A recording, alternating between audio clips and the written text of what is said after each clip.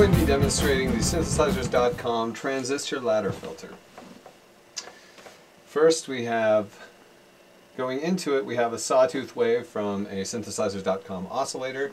We have it going out to a synthesizers.com amplifier and is controlled by a synthesizers.com envelope generator.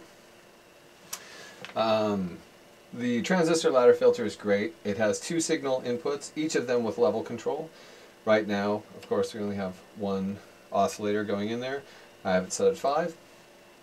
Um, let's have a listen to what this filter does with the resonance off and just controlling the frequency cutoff point.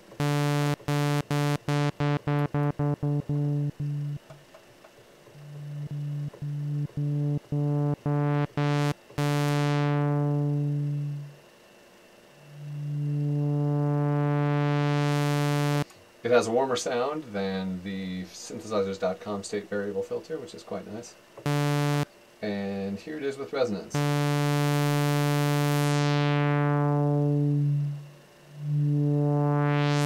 And more resonance. Too much resonance.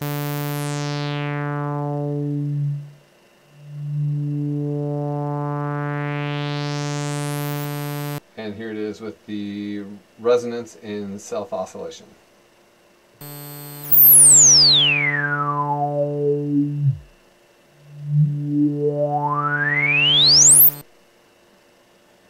Of course, we can control it with a number of other modules.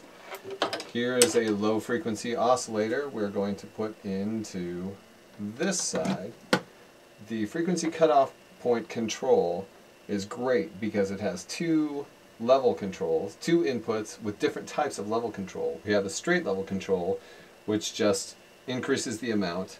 And then we have a positive and negative level control so that you could put an envelope generator in here and get a positive envelope or a negative envelope or of course any sort of um, control voltage you want to put in there but uh, it seems uniquely suited for the envelope. But let's have a listen to this filter with the frequency cutoff point being controlled by a low frequency oscillator.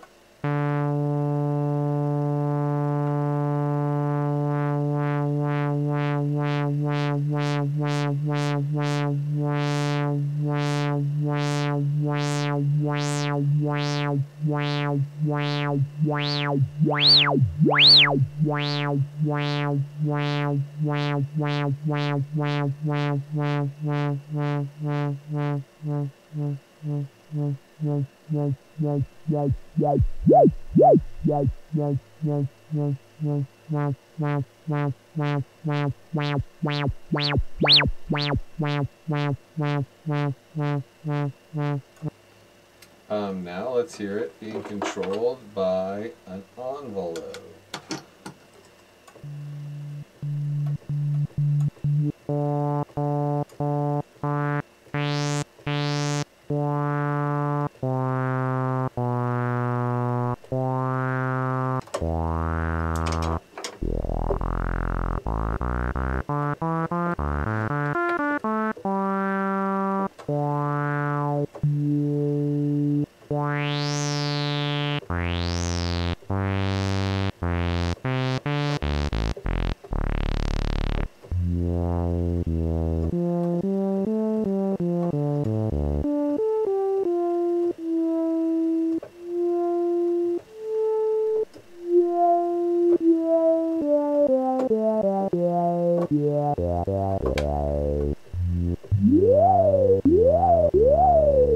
And we can do both.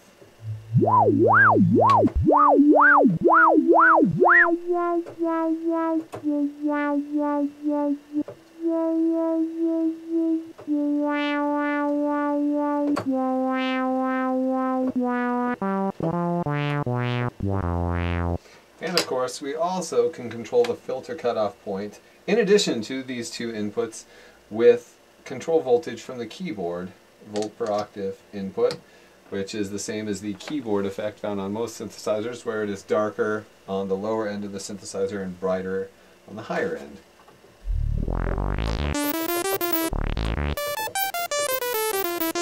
Each is, of course, affected by all the other types of modulation. To hear the keyboard effect, we should turn the other modulation off. We hear nothing. Hmm, That's because it's too low.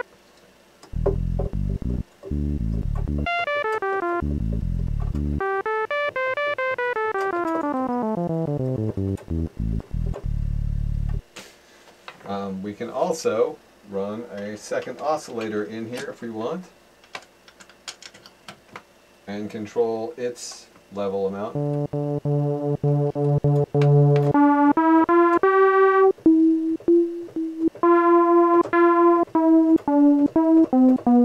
With an inverted envelope.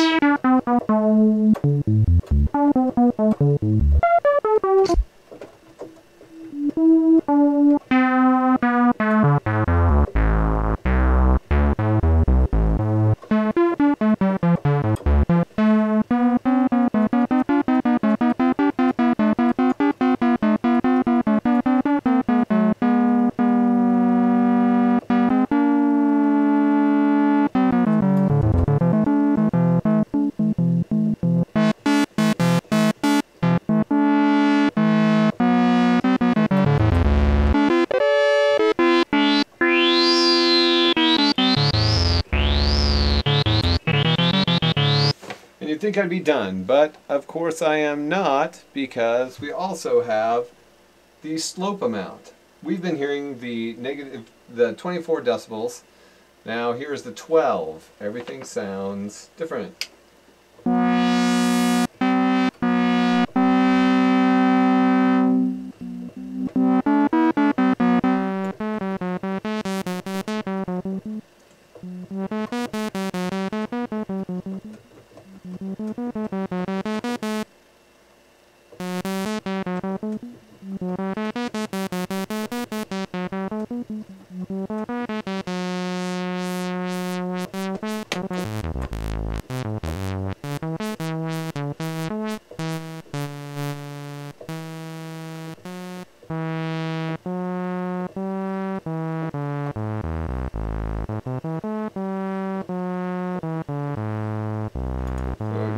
Difference. This is the 12 decibels per octave slope. And here's the 24 decibels per octave slope.